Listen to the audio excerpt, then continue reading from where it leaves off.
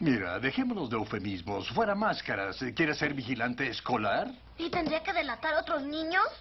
Sí, esencialmente. Mm. Señor X, ¿quiere decir a la corte lo que vio? La voz del testigo se ha Ah, con alterado. mucho gusto. Vi al señor Flecón y meter al señor Palacho en un barril y arrojarlo al río. ¡Tío, te mataré!